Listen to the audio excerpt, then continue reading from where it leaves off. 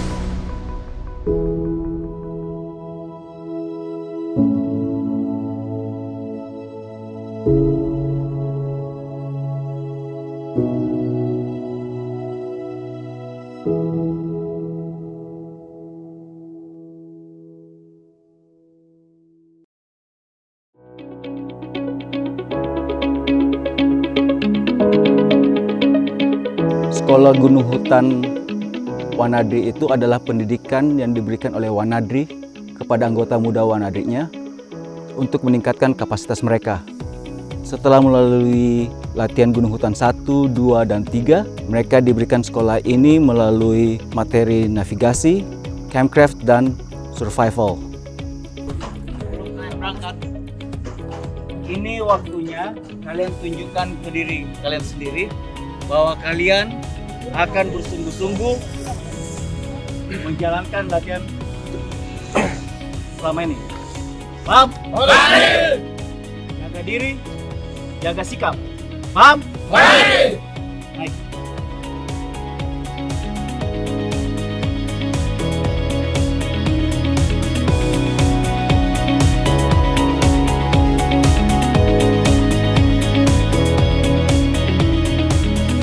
Pada tahapan navigasi darat, mengenai titik awal dan titik akhir mereka ditentukan dari tiap-tiap regu. Adapun metode pemilihan jalur itu dibebaskan atas dasar hasil analisa dan orientasi menggunakan kompas mandiri.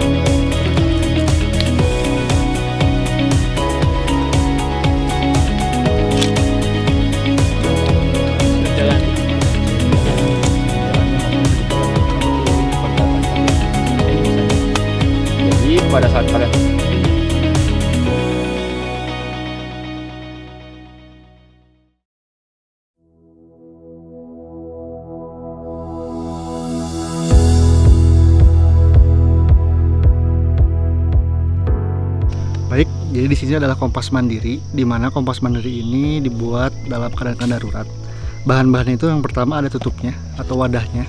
Wadahnya sebenarnya terdiri bisa bebas dari apa aja. Yang penting kalau menurut saya pribadi itu lebih baik ada tutupnya, dikarenakan jika ada tutupnya itu si kompasnya itu akan lebih aman. Di istilahnya jika ditaruh di carrier pun tidak akan tumpah-tumpah si airnya ataupun akan bersicar ke mana-mana untuk si jarum dan eh, gabusnya. Jadi seperti itu. Yang pertama itu eh, ada si tutup. Yang kedua itu untuk airnya.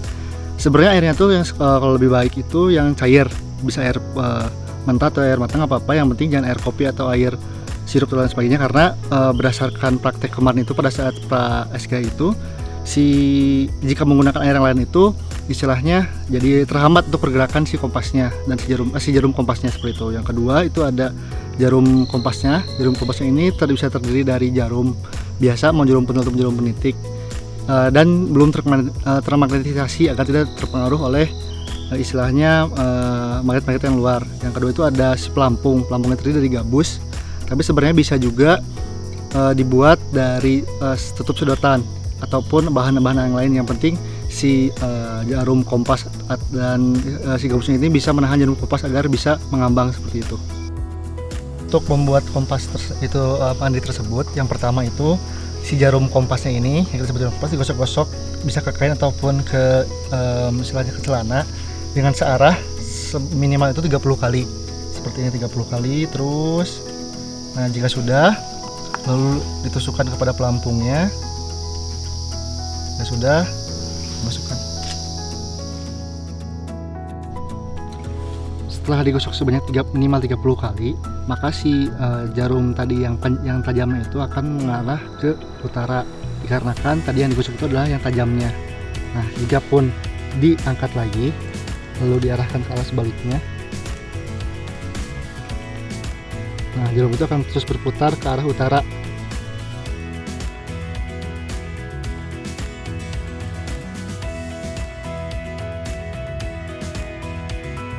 kami memilih topik awareness atau sadar diri atau sadar lingkungan atau sadar akan uh, sekitarnya uh, yang kami ingin tingkatkan itu adalah kemampuan mereka secara soft skill sehingga technical skill mereka itu uh, dapat meningkat dengan lebih baik.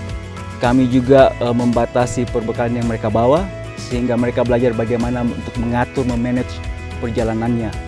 Uh, kenapa kami mem memilih untuk membatasi uh, perbekalannya? Karena untuk merubah cara berpikir tentang survival. Survival selama ini orang pikir itu adalah ketika kita kosong dan perbekalan itulah survival. Padahal sebenarnya survival adalah cara berpikir di mana ketika perjalanan kita sudah berubah karena force major atau hal yang lainnya dan membuat perjalanan kita menjadi lebih panjang, di situlah survival mode kita harus on. Dan di situlah kita mulai mengatur perbekalan kita.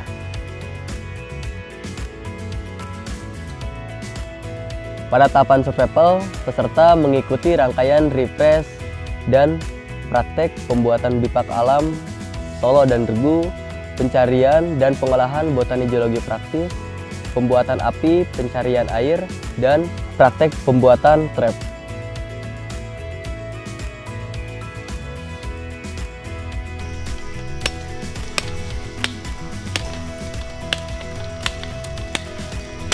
Halo geng, eh, kali ini saya akan mengkondensasi akar liliana dan ini perlu waktu semalaman. E, kita bisa menampung sebanyak 2 liter air 2 liter air lebih. E, caranya kita harus menaikkan dulu pas pertengahan akar liliananya dan menarik ke bawah ujung akar liliananya agar air yang diserap dari tanah bisa masuk ke dalam plastik ini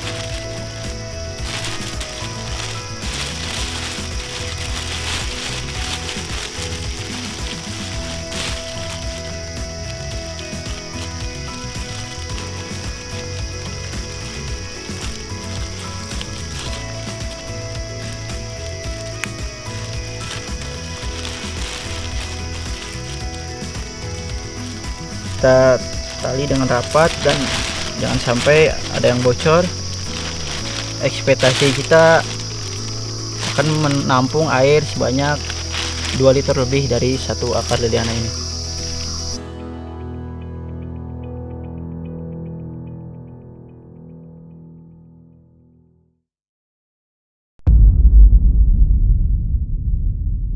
Kalau kalian lihat di sini banyak saudara-saudara saya, pelatih-pelatih kalian yang sudah masuk Wanadi sebelum saya dan sesudah saya.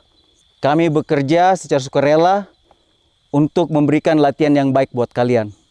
Saya harap mulai hari ini kalian bersungguh-sungguh latihannya. Saya sudah titip ini ketika kita membuka sekolah Gunung Hutan Wanadri. Tapi saya belum melihat kesungguhannya. Paham? Mari.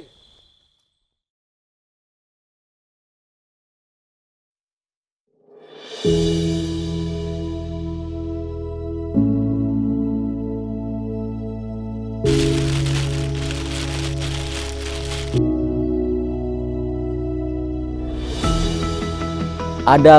standar yang kami terapkan dalam sekolah Gunung Hutan ini sehingga juga mereka mempunyai standar sebagai wanadi yang kami inginkan.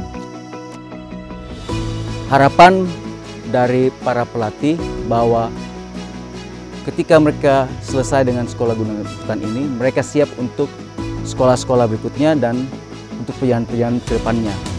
dan mereka juga bisa membawa attitude dan hard skill yang mereka punya itu untuk